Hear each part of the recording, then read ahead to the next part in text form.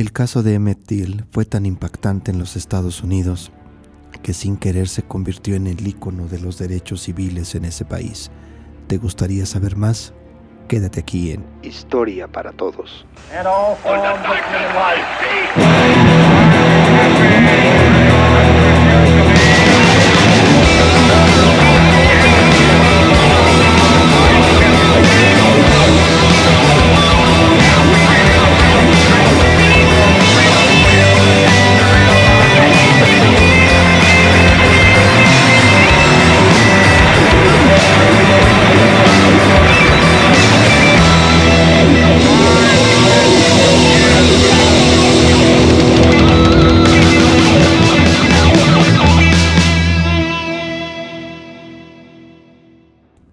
Este joven de 14 años había nacido en Chicago, es decir, estaba muy lejos del sur de los Estados Unidos, donde la sociedad de color era tratada de manera diferente.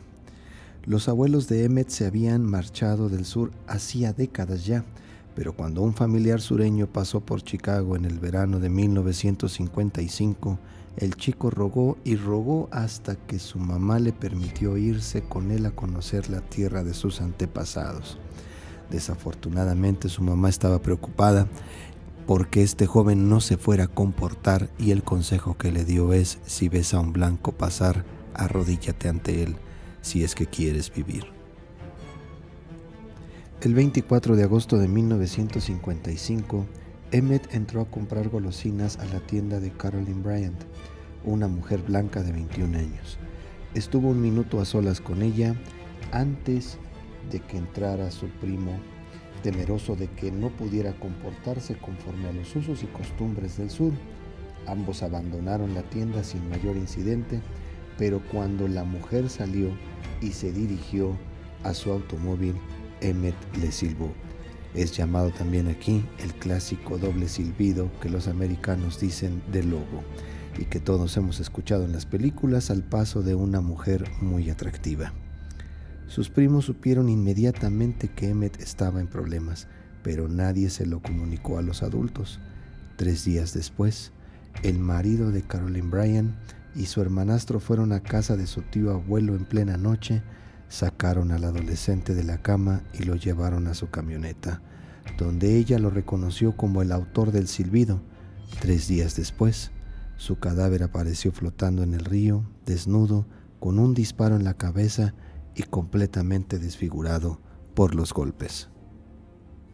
Como era de esperarse, las pruebas fueron falsificadas, los testimonios también, y los agresores que fueron blancos fueron absueltos de todo cargo y ninguno de ellos al pasar del tiempo y al confesar en diferentes entrevistas no pidieron perdón y ni sintieron el mayor remordimiento. Pero algo sí suscitó a una mujer que había sido agredida según ella, que había sido tocada, que había sido hasta incluso amenazada. Al final, en una charla, explicó lo que verdaderamente había sucedido esa tarde en ese lugar. El eje de este caso era Caroline Bryant, la joven que acudió al tribunal con sus dos hijos en brazos, aludiendo que había sido agredida e incluso amenazada. Esta mujer se divorció y bueno, pues más de una vez rehizo su vida. Sin embargo, no había hablado con la prensa de este suceso o trataba de evitarlo hasta que el historiador Timothy Tyson logró tener una charla con ella y así obtener parte del testimonio de lo que pasó ese día. Ella menciona que había inventado el testimonio, que jamás este joven la amenazó, ni se insinuó, ni la agarró del brazo de la cintura, que todo fue algo montado. Pero eso sí, no recordaba nada de lo que había pasado, pero que todo lo que había sufrido ese chico nunca podría ser justificado. Esta mujer no pide perdón, pero dice que sí sintió pena por la madre de Til, un sentimiento que fue en aumento cuando ella misma perdió a su propio hijo.